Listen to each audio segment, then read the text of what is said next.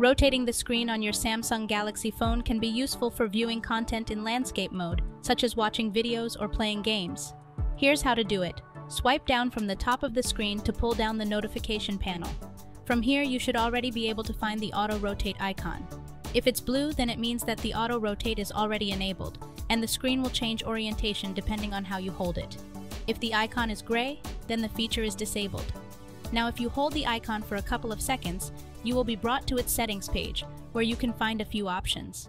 If auto rotate is disabled, the rotate button on navigation bar can be disabled. If you're wondering what it does, well it actually allows you to change the orientation by tapping the small button in the bottom right corner of the screen, even when auto rotate is disabled.